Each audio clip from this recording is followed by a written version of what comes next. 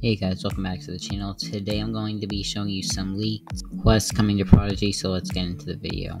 Alright, so before we start, uh, there is a glitch that makes your mouth open, so my character looks incredibly weird right now, but now let's go ahead and look at the quest. So right here we can see a Shiver Chill quest. This was found in the um, game files, or like CDN. So this one's pretty cool we have, uh, I believe this is Batabash, I don't remember what this is called, Arctic Claw, um, Bataram, uh, Scally, Shiver Tusk, and can't remember what this is called, Ice Collar maybe? So, what I think it's interesting is that they have Shiver Tusk here, because that means that we could potentially be getting Shiver Tusk back in, or we could get that in Shiver Chill now. Because right now it's only uh, obtainable in Crystal Caverns. So then if we keep going down, we can see this cool one, which has the Ice Worm. This is going to be like telling you to battle it, probably. And then we have this one right here with the Ice Gem and the Puppet Master. I'm assuming this is like the Puppet Master has taken the Ice Gem and you have to find it. And then we also have these Shiver Chill Shore ones, which are actually in the game. So the both of them could possibly be a beta update, but this one is definitely in beta right now. So it says explore a world below the land where amazing deep ocean water pets can uh, can put out fires anywhere. So we have an Aquaster. Oh, I don't remember. Don't remember what this is called. Don't remember what these are called. I think this is Flickfoot, and can't remember what this is called. But this looks super cool.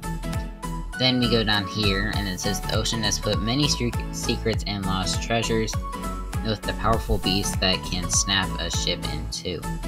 So this one looks super cool as well. We have this gold right here in the ship, and we have the old one, or at least I'm pretty sure that's what it's called, attacking the ship, which this art looks super cool.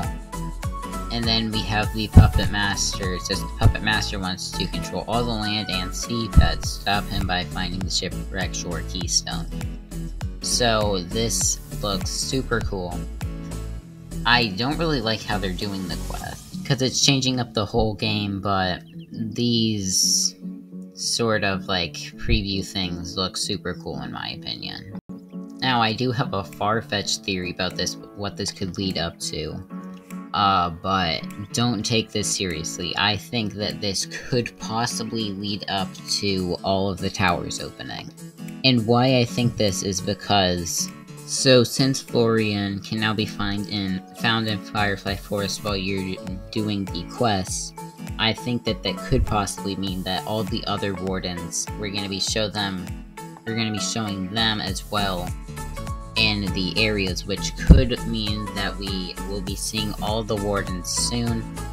Probably not gonna happen. There's probably gonna be like something else in the story development that makes it so that we don't get to see the wardens. But if we do, if they do make all the wardens, that could possibly mean that all of the towers will be opening up and we will finally get to uh, complete the game. Now, this is a very far-fetched theory because Prodigy does not want the game to end this early because that means less money for them, less people will be playing the game once they finish it. But this could be like a full school year thing to do, so it could be a smart thing for Prodigy to do. But yeah, that is about all I have to say, so that is going to go ahead and end up the video. Thank you guys so much for watching. If you enjoyed, make sure to like and subscribe, and bye.